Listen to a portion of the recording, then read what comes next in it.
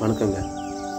இன்னைக்கு வந்து இறைவன்கிட்ட எப்படி வேண்டணும் அப்படின்ற ஒரு சின்ன டிப்ஸ் மாதிரி வச்சுக்கோங்க. நம்ம போய் சாமி கும்பிடும்போது ஒரு பண தேவை இருக்குன்னு வச்சுங்களேன் சாமி எனக்கு அப்படி இவ்வளோ பணம் வேணும்.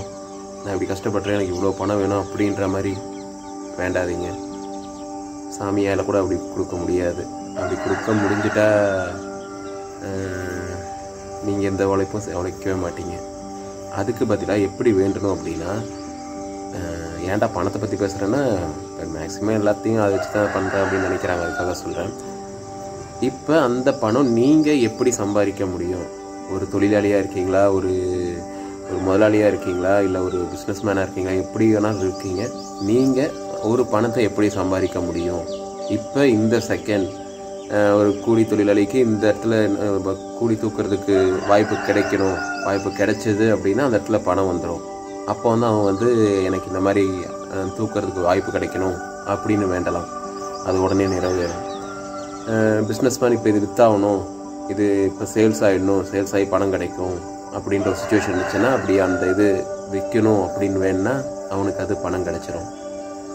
இந்த மாதிரி தான்.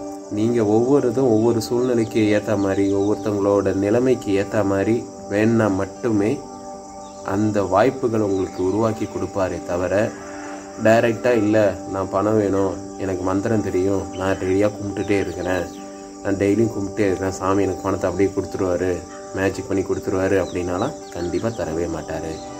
உங்கள் உங்கள் நேரப்படி உங்கள் என்ன இதில் இருக்கீங்களோ அந்த இதுக்குரிய வாய்ப்பை மட்டும்தான் தருவார் இறைவன்.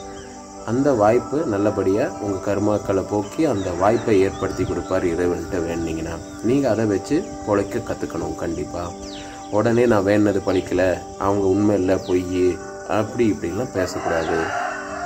உழைப்பு உங்களது வாய்ப்புகளுக்கு வரம் தரது இறைவன். அது இறைவன் பார்த்துக்குவாரு.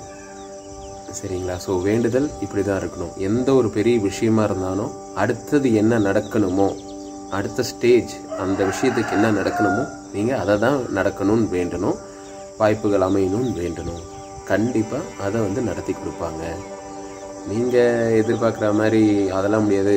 நான் இதெல்லாம் பண்ணுறேன் நான் தீபாதனை காட்டுறேன் இதெல்லாம் பண்ணுறேன் எனக்கு உடனே வந்தாகணும் அப்படின்னா இந்த உலகத்திலேயே எவ்வளோ ஐயருங்க எவ்வளோ அர்ச்சகர் எவ்வளோ பேர் கோயிலே இருந்து தீபாதனை காட்டிருக்கிறாங்க அப்படின்னா அவங்க தானே எல்லாத்தோட இருக்கிறதுலே கோடீஸ்வரனாக இருக்க முடியும்.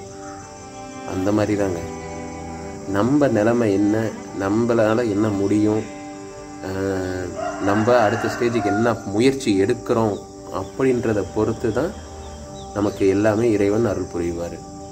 தெளிவாக யோசிங்க. அறிவை யூஸ் பண்ணுங்கள் நன்றி.